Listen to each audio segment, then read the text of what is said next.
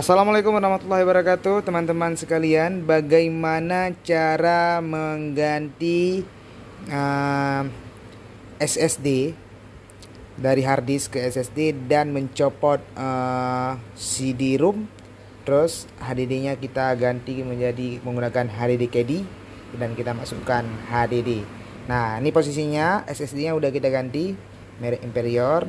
Ini besarnya 128 GB.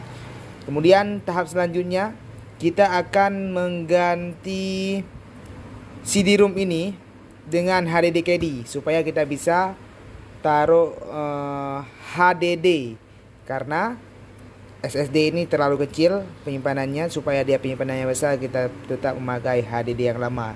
CD-ROM kita copot dan kita ganti dengan hari KD. Bagaimana caranya? Di sini ini ada more satu, terus kita copot, ini udah kita copot, kemudian baru kita tarik ke belakang. Ini hanya dilakukan oleh teknisi ya, karena kalau dilakukan oleh yang bukan teknisi takutnya nanti ada kerusakan yang lain malah berakibat fatal. Nah, ini dia HDD KD. Dia ada dua macam ada yang tebal ada yang tipis ini kita gunakan yang tipis karena laptopnya ini uh, tipis ya oke langsung saja kita buka terus kita ganti. Selanjutnya ini dia. Kita masukkan HDD ini ke dalam HDD KD nah ini kita masukkan sampai pas. Baru kita pasang ke tempat ke sini ya. Nah, jika kita sudah siap pasang HDD-nya ke tempat HDD KD, jangan lupa dikasih mod di belakangnya ini ada empat.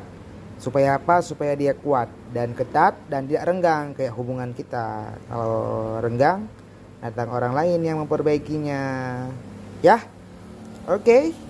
Saatnya kita masukkan. Nah, beginilah caranya. lepaskan dulu semuanya biar dia mudah nah beginilah. Susah ya. Sepertinya agak tebal.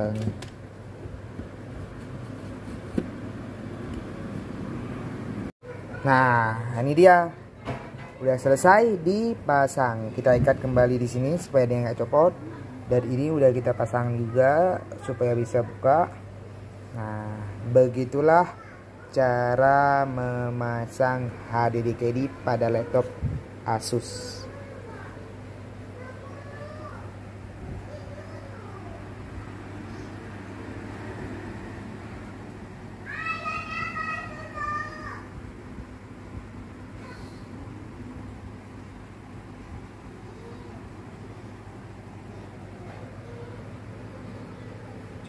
Master Komputer.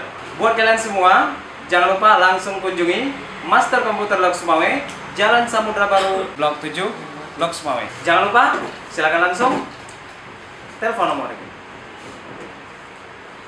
Satu-satunya toko komputer terlengkap di Lok Sumawe.